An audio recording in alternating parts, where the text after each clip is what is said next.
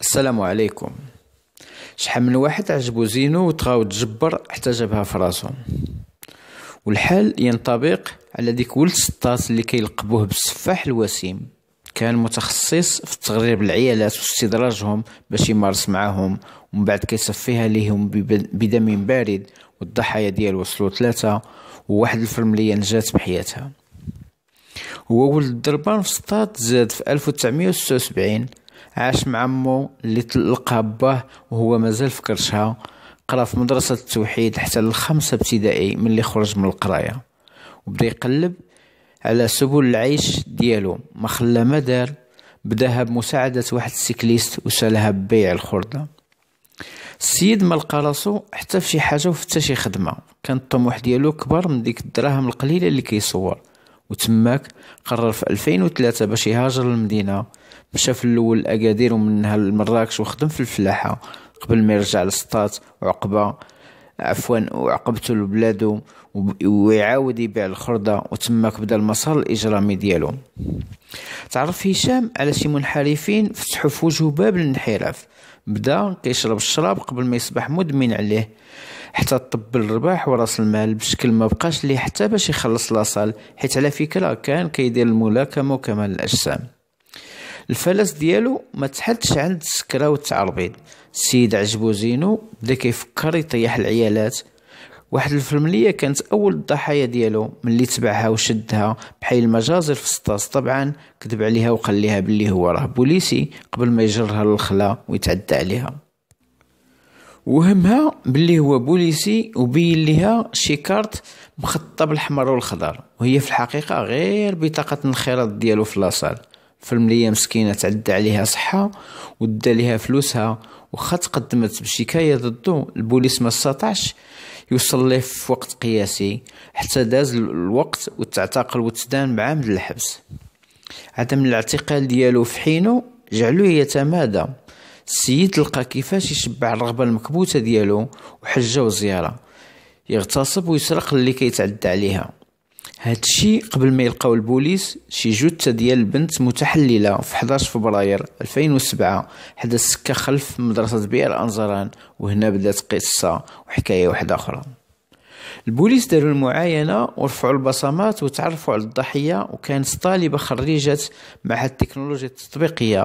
كانت كتخدم في معمل ديال الكابلاج وكانت اختفت قبل تسعة أيام من العثور عليها وعائلتها بلغات بالاختفاء الغامض ديالها قبل ما يلقوها ميتة. فك لغز الجريمة تعطل شوية. قبل ما يفيق ناس ساكنين في طريق كازا حدا مقبرة سيدي النون بالغوبية الغويبة عفوا على خبر صادم واحد آخر. جثة أخرى لقاوها تماك بعد ثمانية من العثور على الجثة الأولى لعامية الكابلاج. كانت حتى هي معرية من التحت ما يؤكد الاغتصاب ديالها قبل القتل ديالها. حتى هذه تعطل البحث فيها وخا المجهود اللي بدلاته الضابطة القضائية قبل ما يلقاو جثة ثالثة نهار 11 مارس 2008 هاد الشيء أو هاد المرة البنت جديدة لقاو لقاها باها مقتولة في حفرة وسط الشجار خلف المنطقة الصناعية غرب الطريق كيسر. وهنا بدات الشكوك تراود البوليس يقدر يكون نفس الشخص هو اللي ارتكب هذه الجرائم ثلاثة خاصة أن البنات تعرضوا للاغتصاب قبل القتل ديالهم. فك لغز هذه الجرائم بدا من التليفون ديال واحد الضحية. الوكيل العام أمر بتعقب كل المكالمات الهاتفية الواردة والصادرة عن هذا الرقم موازاة مع ذلك دار تقرير طبي أكد باللي مستخلص الحمض النووي المتعلق بهشام هو نفس الحمض اللي ترفع من فم جثة الضحية. وهنا انكشف الخيط الأبيض من الخيط الأسود اللي فك لغز هذه الجرائم. السيد كان يلا خرج من الحبس بعد ما دوز عام فيه لتورطه في قضية اختطاف واحتجاز وهسك عرض الفرملية كما قلنا بعد ما وصلوا ليه البوليس وتعرفات عليه. وخا تحبس ما تابش. رجع لنفس العمايل وهاد المرة كان أكثر شراسة وقتل ثلاثة ديال الأرواح. بزاف ديال المعطيات كانت كتقول باللي هو القاتل هاد ثلاثة ديال البنات. ومنها نتائج التقرير اللي داروا المختبر الوطني للشرطة العلمية بكازا والتليفون ديال واحد الضحية اللي لقاوه عنده أثناء تفتيش دار جدو اللي كان عايش معاه هو وأمه.